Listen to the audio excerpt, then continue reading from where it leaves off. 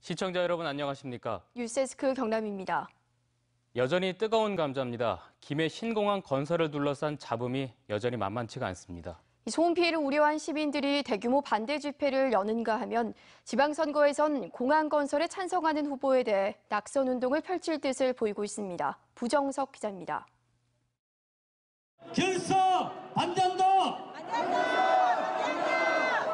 신공항에 반대하는 주민들은 신설되는 예상 활주로 방향에 고층 아파트와 야산이 많아 사고 위험이 높고 소음 피해도 전혀 고려되지 않았다고 주장합니다.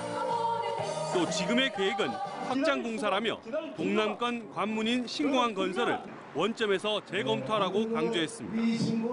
아무 소용없는 이 용역 보고서를 이 자리에서 찢어버리고 소용없는 우리 김해 신고를 반대하는데 오늘 집회에는 김해 신공항 건설에 반대하는 부산 시민들도 동참했습니다.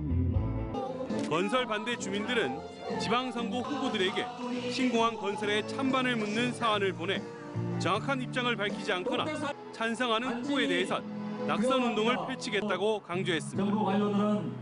이 때문에 많은 예비 후보가 눈도장을 찍기 위해 집회장에 모습을 드러냈습니다. 전 정부가 한 거를 마음대로 못 하는데 정치권에서 이거를 이슈화하면은 다시 한번 생각해 볼 수 있다는 그런 말씀을 드렸습니다. 국민들의 국토부는 오는 6월 인간적인 전략 환경 영향 평가 용역과 8월엔 기본 계획 수립 용역을 발표할 계획입니다. 마시고 MBC 뉴스 구정석입니다.